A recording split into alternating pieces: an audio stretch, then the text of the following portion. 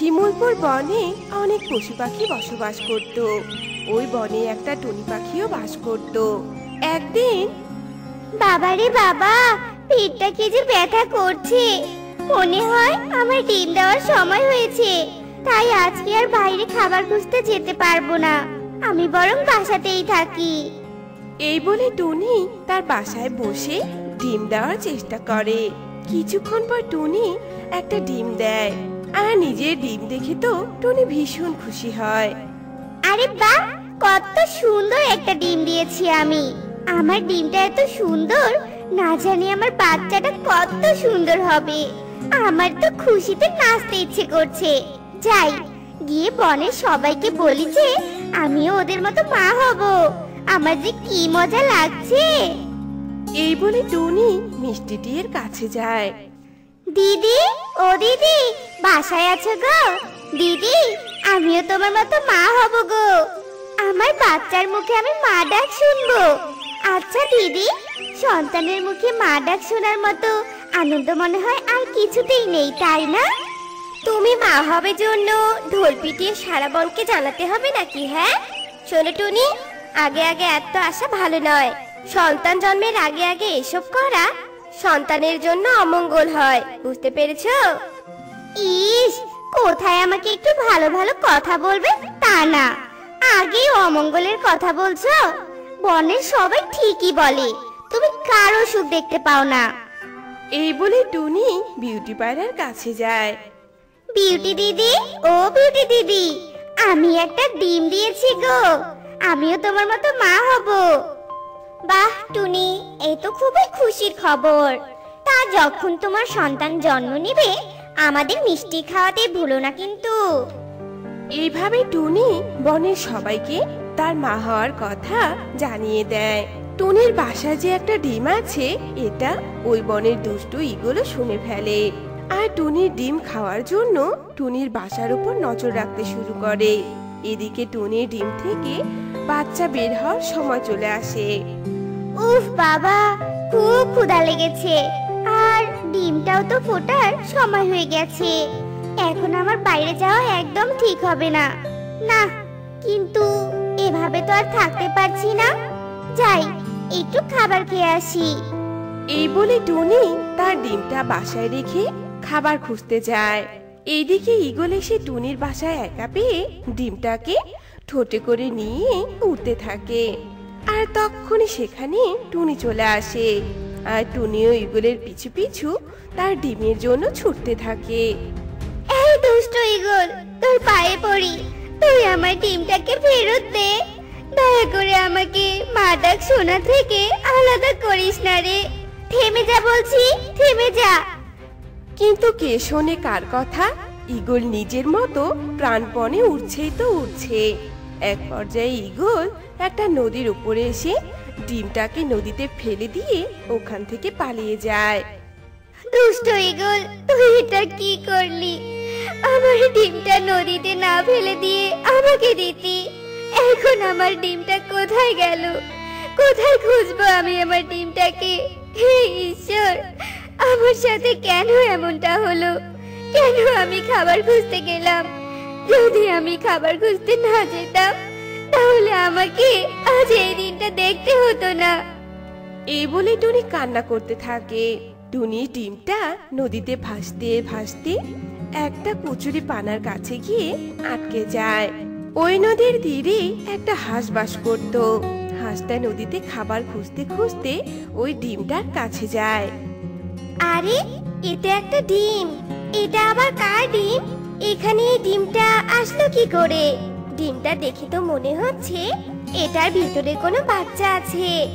এই ডিমটা আমি আমার বাসায় নিয়ে গিয়ে আমার চারটা ডিমের সাথে এই ডিমটাকে তা দিব। এই বলে হাঁসটা টুনির ডিমকে নিয়ে তার বাসায় যায় আর তার চারটা ডিমের সাথে তা দিতে থাকে। এভাবে বেশ কিছুদিন কেটে যায়।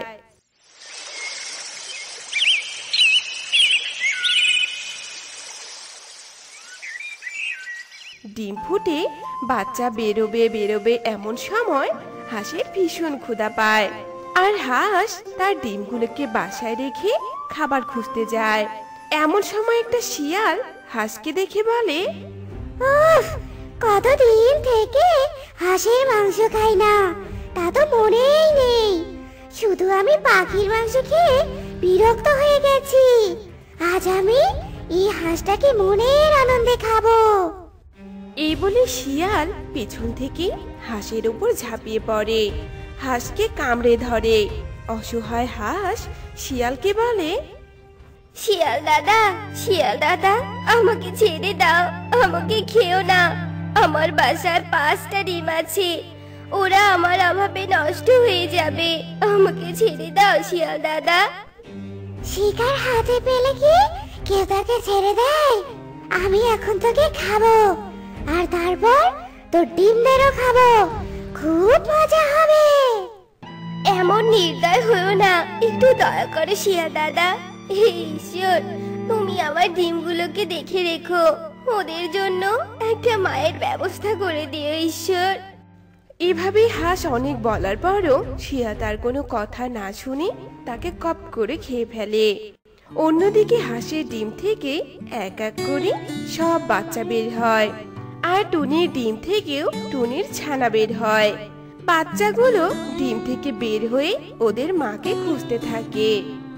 মা মা কোথায় তুমি? দেখো আমরা সব ভাই বোনেরা ডিম থেকে বের হয়েছি। তুমি কোথায় মা? এসো এসো না আমাদের কাছে। ও মা! এই বলে বাচ্চারা তাদের মাকে খুঁজতে থাকে। বেশ কিছুক্ষণ পর টুনির ছানা বলে আচ্ছা আমাদের মা এখনও আমাদের কাছে আসলো না কেন? মনে হয় আমাদের এখন মাকে খোঁজা উচিত। চলো তোমরা, আমরা আমাদের মাকে খুঁজি। আর আমাদের তো অনেক ক্ষুধা পেয়েছে। মাকে খুঁজে আমরা মায়ের কাছে খাবার চাইব। চলো চলো। এই বলে তারা সবাই তাদের মাকে খুঁজতে থাকে।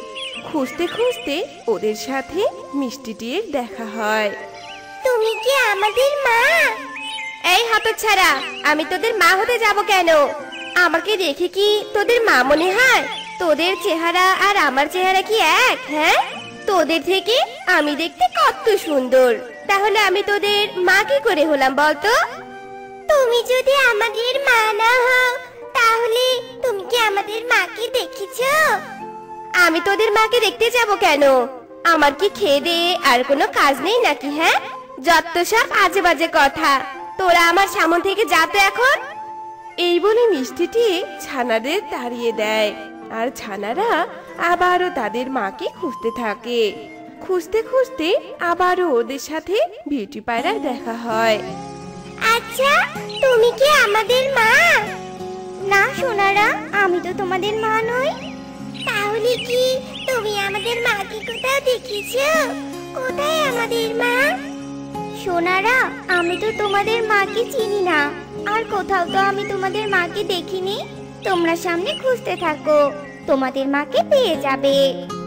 এই বলে বিউটি পায়রা সেখান থেকে চলে যায়। হাঁসের ছানারা এইভাবে যাকে তাদের সামনে পেত তাকে তারা জিজ্ঞাসা করত। এমন সময় বাচ্চারা ক্ষুধার জ্বালায় ক্লান্ত হয়ে একটা গাছের নিচে দাঁড়িয়ে সবাই কান্না করতে থাকে। রেখে কোথায় চলে গিয়েছো? আমরা তোমাকে কেন খুঁজে পেলাম না মা? আমাদের ভীষণ ক্ষুধা পেয়েছি। তুমি তাড়াতাড়ি আমাদের কাছে আসো না মা। টুনি ওই রাস্তা দিয়ে যাচ্ছিল। এমন সময় কান্নার আওয়াজ পেয়ে বাচ্চাদের কাছে আসে। টুনিকে দেখে হাসির ছানারা বলে মা তুমি এতক্ষণ কোথায় ছিলে? তুমি জানো আমরা তোমাকে কত খুঁজেছি? মা বলো না। তুমি আর আমাদের ছেড়ে কোথাও যাবে না? না আমাদের খুব খিদে পেয়েছি। আমাদের কিছু খেতে দাও না মা। ছানাদের মুখে মা ডাক শুনে টুনির অনেক শান্তি লাগে। আর টুনি হাঁসের চারটা ছানার মধ্যে তার ছানাকে দেখে চিনতে পারে। কেননা তার ছানা যে দেখতে একদম তার মতোই ছিল। আমার সোনারা আমি তোমাদেরকে রেখে একটু বাইরে গিয়েছিলাম। চলো এবার তোমরা বাসায় চলো। এরপর তারা সবাই হাঁটতে থাকে।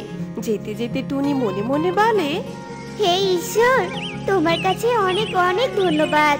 আমার সন্তানের সাথে আমাকে আরও চারটা সন্তান ফিরে দেওয়ার জন্য।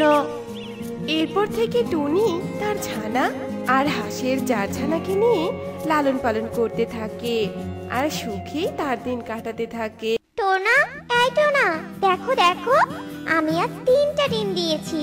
দেখো টোনা ডিমগুলো কি সুন্দর হয়েছে।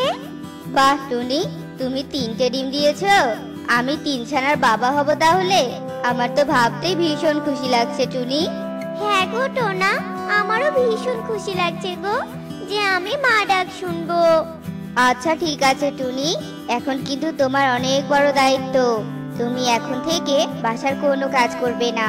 তুমি ঠিক মতো ডিমে তা দিবে কেমন? টুনি, আমি কাজে গেলাম গো, সাবধানে থেকো কিন্তু। এই বলে টুনা বাসা থেকে বেরিয়ে যায়। আর এইদিকে টুনি খুশি মনে ডিমে তা দিতে থাকে। এভাবেই বেশ কয়েকদিন কেটে যায়। কিন্তু একদিন হঠাৎই টোনা হার্ট অ্যাটাক করে মারা যায়। তারপর থেকে শুরু হয় টুনির লড়াই। এইদিকে টুনির ডিম ফুটে ছানা বের হওয়ারও সময় চলে আসে। হাই ঈশ্বর, তুমি আমায় এই কোন পরীক্ষায় ফেললে? ডিম ফুটে ছানা বের হওয়ার তো সময় হয়ে গেল। এদিকে টোনাও আমাকে ছেড়ে গেল। এখন আমি একা সবটা কি করে সামলাবো? টুনি এসব বলতে থাকে আর ডিমে তা দিতে থাকে। এরপর দুদিন কেটে যায়। আর দুদিন পর টুনির ডিম ফুটে তিনটি ছানা বের হয়। কিন্তু অবাক করা কাণ্ড। তিন ছানা যে তিন রঙের হয়েছে। আরে আরে এটা কি হলো? আমার তিনটি ডিম থেকে তো তিনটি রঙের ছানা বের হয়েছে। আমার এই রঙিন ছানাদের কথা যদি বনের কেউ জানতে পারে তাহলে তো বিপদ হবে। টুনি তার এমন তিন রঙের ছানাকে নিয়ে ভীষণ চিন্তায় পড়ে যায়। এমন সময় টুনির বাসায় কাকুলি কাকার শালিক আসে। আর টুনির ঘরে এমন রঙিন ছানা দেখে তো তারা একদম অবাক হয়ে যায়। ও মা কি সর্বনাশা কাণ্ড, শালিক দিদি? দেখো দেখো, টুনির তিন ছানাদের দেখো। কেমন লাল, নীল, হলুদ রঙের ছানা হয়েছে গো। এমন ছানা তো আমি কোনো দিনও দেখিনি, বাপু। ঠিক বলেছ, কাকুলি, আমিও তো দেখিনি। নিশ্চয়ই ছানাগুলো কোনো অশুভ ছানা। তাই এমন রঙিন দেখতে হয়েছে। কই, আমাদের বনের অন্য ছানারা তো এমন দেখতে নয়। কি রে টুনি? মুখ পুরি কোথাকার? তুই আমাদের বনের ক্ষতি চাস তাই না? তাই তো এমন অশুভ ছাড়া জন্ম দিয়েছিস। অপয়া কোথাকার? না না কাকুলি দিদি তোমরা এভাবে বলো না। আমার ছানারা অশুভ নয়। ওরা দেখতে রঙিন হয়েছে। তাই বলে কি ওরা অশুভ? দেখো দিদি ঈশ্বর চেয়েছেন বলেই ওরা অন্য ছানাদের থেকে আলাদা হয়েছে। চুপ কর মুখ পুরি তোর তো সাহস কম নয়। অশুভ ছানা জন্ম দিয়ে আবার মুখে মুখে তর্ক করিস। অলক্ষী কোথাকার? শোন, তুই অলক্ষী আর তোর ছানারাও অলক্ষী। তাই তোরা আমাদের সমাজে থাকলে আমাদের অমঙ্গল হবে। তোদের আমরা এক ঘরে করে দিব। হ্যাঁ কাকুলি দিদি, তুমি একদম ঠিক কথা বলেছ। চলো, আমরা বনের সবাইকে গিয়ে কথাটা বলি। আর সবাই মিলে রাজা মশাইয়ের কাছে এই টুনির নামে বিচার দিব। যাতে করে রাজা এই টুনি সহ তার অশুভ তিন ছানাদের এক ঘরে করে দেয়। এরপর কাকুলি আর শালিক সেখান থেকে চলে যায়। আর টুনি এসব কথা শুনে শুধু নীরবে চোখের জল ফেলতে থাকে আর বলতে থাকে, ঈশ্বর, তুমি কেন আমাকে এমন রঙিন ছানা দিলে? আজ এই ছানাদের সবাই অশুভ বলছে। সত্যি কি তাহলে আমি অশুভ ছানার জন্ম দিয়েছি? এসব বলে টুনি তার তিন ছানাকে জড়িয়ে ধরে কাঁদতে থাকে। আর ওদিকে কাকুলি আর শালিক বনের সবাইকে টুনি তিন ছানার কথা বলে। আর সবাই মিলে ওই বনের রাজা ইগলের কাছে যায় আর টুনির নামে বিচার দেয়। এসব শুনে রাজা ভীষণ রেগে যায়। কি? ওই টুনির এত বড় সাহস? ওই কিনা আমার বনে এই অশুভ ছানার জন্ম দিয়েছে? চলো আমার সাথে। আমি আজকেই ওই তিন ছানার মা টুনিকে এক ঘরে করে দিব। কারণ আমি চাই না ওদের মতো অশুভ পাখিদের জন্য আমার বনের অন্য পাখিদের ক্ষতি হোক। এই বলে রাজা সহ বনের সবাই টুনির বাড়িতে যায় আর টুনিকে এক ঘরে করে দেয়। আর সেখান থেকে সবাই চলেও আসে। এইভাবে বেশ কয়েকদিন কেটে যায়। টুনির তিন ছানা ধীরে ধীরে বড় হতে থাকে। টুনিকে এক ঘরে করে দেওয়ার জন্য টুনি অন্য বনে গিয়ে কাজ করত আর অনেক কষ্ট করে তিন ছানাকে বড় করত। একদিন টুনি তার ছানাদের বলে শোন মা আমি কাজে যাচ্ছি। তোরা কিন্তু ঘরেই থাকবি কেউ বাইরে যাবি না। পূর্বের বনের দিকে তো যাবি না। কেন মা?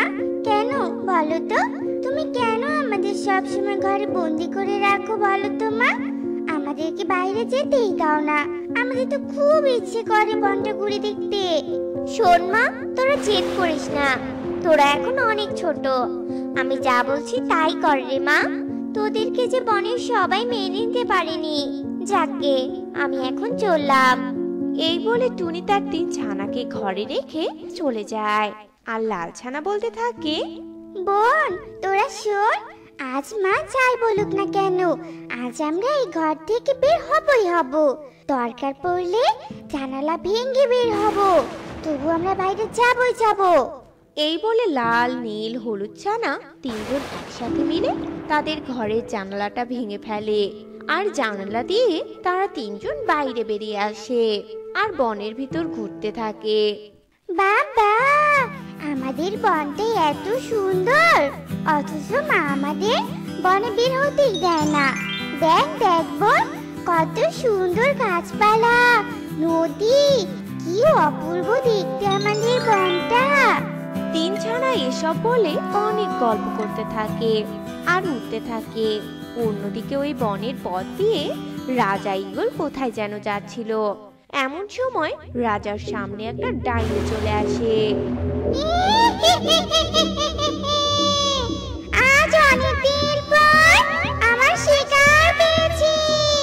আমার কতদিনের আশা আমার।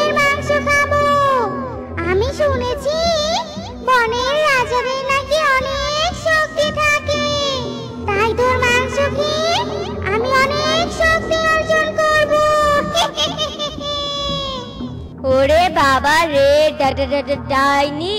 আমাকে মেরো না ডাইনি। আমি তো তোমার কোনো ক্ষতি করিনি। আমাকে ছেড়ে দাও। এই বলে ইগল পালাতে ধরে। তখনই ডাইনি ইগলকে খপ করে ধরে ফেলে। আর এমন সময় সেখানে সে তিন ছানা করতে ঘুরতে চলে আসে। আর রাজা ইগলের এমন অবস্থা দেখে লাল ছানা বলে আরে আরে দেখ বোন ওই ডাইনিটা একটা পাখিকে ধরে রেখেছে। মনে হয় খেয়ে ফেলবে। চল চল চল বোন, ওই পাখিটাকে আমাদের বাঁচাতে হবে। এই বলে তিন ছানা ডাইনির সামনে যায়। আর এমন সময় তিন ছানার চোখ দিয়ে তীব্র আলোক রশ্মি বের হতে থাকে। আর সেই আলোক রশ্মি এত তীব্র ছিল যে ডাইনির শরীরে পড়তে ডাইনি ছটফট করতে থাকে। আর ইগলকে হাত থেকে ফেলে দেয়। ডাইনি ছটফট করতে করতে সেখানেই মারা যায়। আর এমন কাহিনী দেখে রাজা ইগল বলে, আরে আরে, তোরা সেই টুনির তিন রঙের তিন ছানা না? তোরা আজ আমাকে বাঁচালি, অথচ আমি তোদেরকেই অশুভ বলে এক ঘরে করে দিয়েছিলাম। আমি বুঝতে পেরেছি, আসলে তোরা তিনজন শুভ শক্তির প্রতীক। তা না হলে তোরা এই ডাইনিকে কীভাবে মারতে পারলি? তোরা আমাকে ক্ষমা করে দিস রে। এতক্ষণে ডাইনির কথা শুনে বনের সবাই সেখানে চলে আসে। আর রাজা ইগল ঘোষণা দেয় যে শোনো সবাই টুনির এই তিন ছানা কোনো অশুভ নয় এরাই শুভ শক্তির প্রতীক। আজ থেকে টুনি আর তার তিন ছানা আমাদের সমাজের সবার সাথে মিলেমিশে থাকবে। এ ঘটনার পর বনের সবাই তাদের ভুল বুঝতে পারে। আর টুনি আর তার সন্তানদেরকে বনের মাঝে মেনে নেয়। আর তাদের অনেক ভালোবাসাও দেয়। তারপর থেকে টুনি তার তিন ছানাকে নিয়ে অনেক সুখে দিন কাটাতে থাকে। বৃন্দাবন জঙ্গলে অনেক পাখির বসবাস ছিল। সেখানে টুনি নামের একটা মেয়ে বাস করত। আর তার পাশেই বাস করত এক রাতের বেলা জাম ব্যবসায়ী কালু কাক সে সারা দিন পড়ে পড়ে ঘুমাতো। আর সারা রাত জাম বিক্রি করত। এরপর একদিন সকালে কালু শুয়েছিল আর কাকুলি, এই যে, আমার রাতের বেলা জাম ব্যবসায়ী মহারাজ সারা দিন তো শুধু পড়ে পড়ে ঘুমাও। এদিকে আমি কি করলাম, কি খেলাম, তার তো কোনো খোঁজ নেওয়ারই নামগন্ধ নেই তোমার। আর সারা রাত থাকো বাইরে। সারা দিন এসে ঘুমাও। আমার সাথে দুটো ভালো করে কথা পর্যন্ত তুমি বলো না। কোথাও ঘুরতেও নিয়ে যাও না। অন্যরা তো আগে বউয়ের দিকটা চিন্তা করে, তারপর অন্য কিছু। আর তুমি? এই শোনো, সাত সকাল বেলায় এত ঘ্যান ঘ্যান করে আমার মাথা খেও না তো। আমাকে একটু ঘুমাতে দাও। আমি যদি সারা রাত ধরে কাজ না করে তোমার এসব আজে বাজে আবদার পূরণ করি, তাহলে দুদিন পর আমাকে ভিক্ষার থালা নিয়ে রাস্তায় বসতে হবে। রাস্তায় কেন বসতে হবে হ্যাঁ? সবাই যেমন দিনের বেলা জাম বিক্রি করে, তুমিও তেমনি রাতের বেলা জাম বিক্রি না করে দিনের বেলা করবে। এই, শোনো, আমি তোমার এসব নীতি কথা একদম শুনতে চাচ্ছি না। যদি তুমি আমাকে চাও, তাহলে তুমি টাকা পাবে না। আর যদি টাকা চাও, তাহলে তুমি আমাকে পাবে না। এবার ভেবে দেখো, তুমি কি চাও? এই বলে কালু ঘুমিয়ে পড়ে। এদিকে কাকুলি কান্না করতে করতে টুনির কাছে যায়।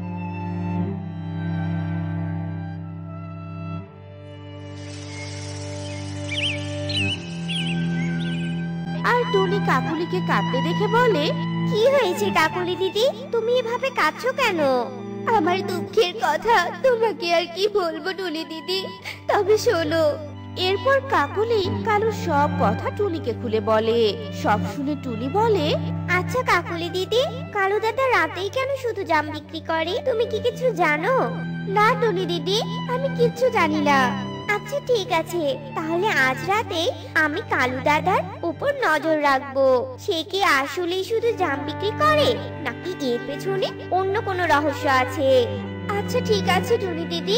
এবার তাহলে আমি বাড়ি ফিরে যাই। এই বলে কাকুলি তার বাড়ি ফিরে যায়।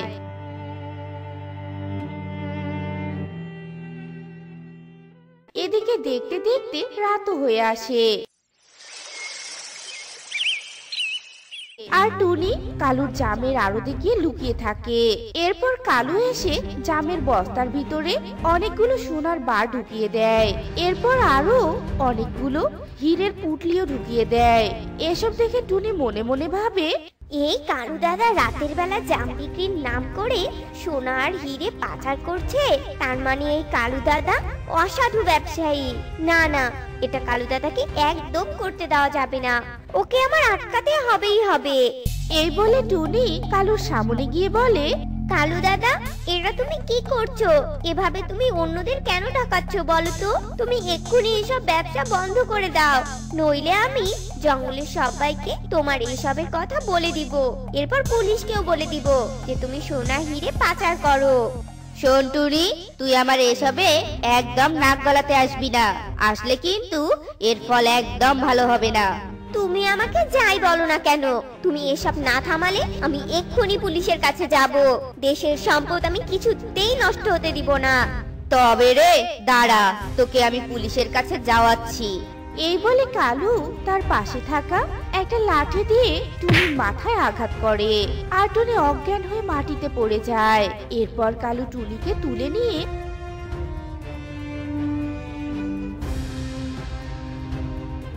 জাম গাছের তলায় গর্ত করে সেখানে টুনিকে মাটি চাপা দেয়। এরপর কালু তার নিজের কাজে মন দেয়। আজ শালার কপালটাই খারাপ। কোথা থেকে যে আপদটা এসেছিল, কে জানে? এবার বোঝ কেমন লাগে। আমার কাজে যদি কোনোদিন কেউ বাধা দিতে আসে, তাহলে আমি তাকে একদম ছাড়বো না। তার অবস্থাও এই টুনির মতোই করে ছাড়বো আমি। এই বলে কালু তার জাম নিয়ে বিক্রি করতে চায় দেখতে দেখতে সকালও হয়ে আসে।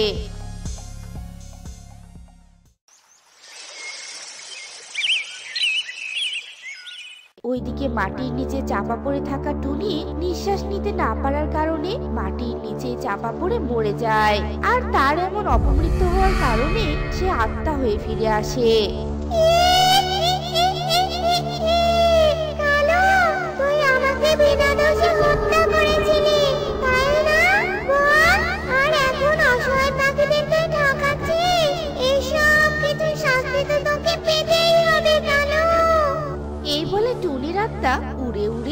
কাছে যায়। এদিকে কালু নাক ডেকে ঘুমাচ্ছিল। এরপর সে কালুকে স্পর্শ করতে চায়। কিন্তু সে কোনোভাবেই কালুকে স্পর্শ করতে পারে না।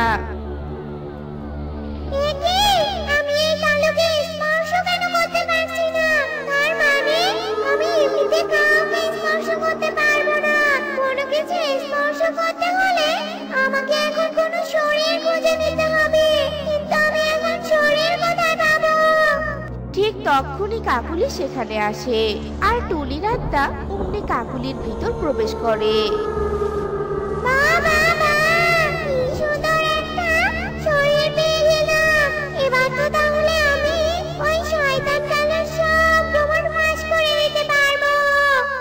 এরপর কাকুলি রূপী আত্মা জঙ্গলের সবাইকে কালুর কথা বলে কিন্তু কেউই কাকুলির কথা বিশ্বাস করতে চায় না। এরপর সবার মাঝ থেকে সুখী বলে তোমার কাছে কি প্রমাণ আছে? যেটার উপর ভিত্তি করে আমরা বিশ্বাস করব যে কালু অসাধু ব্যবসায়ী? আমি ওর বউ হয়ে কি তোমাদের মিথ্যে কথা বলব? বলতেও তো পারো, তাই আগে প্রমাণ দেখাও, তারপর আমরা বিশ্বাস করব। আচ্ছা ঠিক আছে। তোমরা আজ রাতে কালুর জামের আড়তে লুকিয়ে থাকবে। সেখানেই তোমরা সবকিছু দেখতে পারবে। কাকুলির কথায় সবাই রাজি হয়। এরপর দেখতে দেখতে রাত হয়। এরপর কাকুলি সহ সবাই কালুর আড়তে গিয়ে লুকিয়ে থাকে। এরপর কালু আসে। আর আগের মতোই সে তার জামের বস্তায় সোনার বার আর হীরের পুটলি ঢুকাতে থাকে। আর তখনই সবাই বেরিয়ে আসে। ছি, কালু দাদা, ছি। তোমাকে অনেক ভালো ভেবেছিলাম। আর তুমি কি না এত নিকৃষ্ট কাজ করছ? এর জন্য তোমাকে কঠিন শাস্তি পেতে হবে। একে শাস্তি পরে দিবে? তার আগে তোমরা ওই জাম গাছের গোড়ার মাটিগুলো সরিয়ে ফেলো। তারপর সেখানে তোমরা একটা লাশ পাবে। কাকলির কথা মতো সবাই জাম গাছের গোড়ার মাটিগুলো সরিয়ে ফেলে। তারপর সেখানে তারা টুনির লাশ দেখতে পায়। এ দেখে সবাই অনেক অবাক হয়ে যায়। কাকুলি, টুনি এখানে কি করে মারা গিয়েছে? আমি কাকুলি নই, আমি টুনি। ওই শয়তান কালুকে আমি তার অপকর্ম করার জন্য বাধা দিয়েছিলাম। আর সে আমাকে মেরে ফেলেছে। এরপর কাকুলি রূপী টুনির আত্মা সব খুলে বলে সবাইকে। সব শুনে সবাই ভীষণ রেগে যায়। আর রেগে কালুকে পিটিয়ে মেরে ফেলে। টুনির লাশের সৎকার করায়। আর টুনির আত্মা মুক্ত হয়ে কাকুলির শরীর ছেড়ে চলে যায়। তো বন্ধুরা, আমাদের আজকের এই গল্পটি তোমাদের কাছে কেমন লেগেছে তা কমেন্টে জানাতে ভুলো না কিন্তু।